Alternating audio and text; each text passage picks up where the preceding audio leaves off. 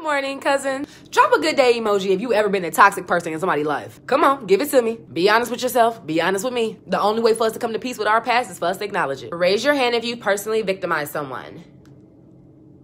Own when you fuck up. Own when you drop the ball and pick that bitch back up and get back in the game. At some point, we've all been the toxic person in somebody's life, be it a romantic relationship, a friendship, or a work relationship. You didn't walk in the office and not spoke to people with your rude ass. The only way for you to get your blessing and to get to where you going, that destiny, is for you to be 100. How you gonna be 100 when you can't even acknowledge you fucking up? I'm sorry if I hurt your feelings. Cut it out. Be a grown up. When you say if, that plants the seed of doubt. And look at the energy. Look at the results. Ain't no if. We all have been a toxic person to somebody before. All of us. But this year for me, this year too personal. I'm focusing on me. My foundation to forever establish this now. I'm acknowledging all the bullshit, getting out the way, cause 2019 bringing all the good shit. Ah. Take stock of some of your relationship. What you bring to the table. What they bring to the table. This shit still makes sense. It's blessing season. Make room for 'em. You've been asking and working. Think about it.